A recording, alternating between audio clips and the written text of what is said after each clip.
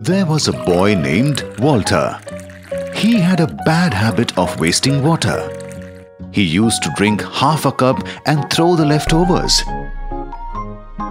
He lived in a capital city with his grandpa and didn't know the importance of natural and precious resources. Once his grandpa observed him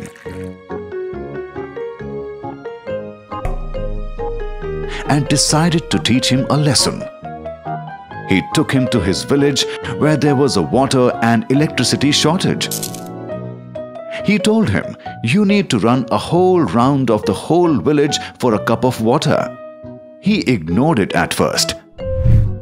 But after a while, when he got thirsty and wanted some water to drink,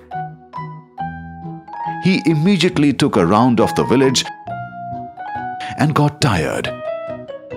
After he got the cup of water, he drank some and saved the half for next time.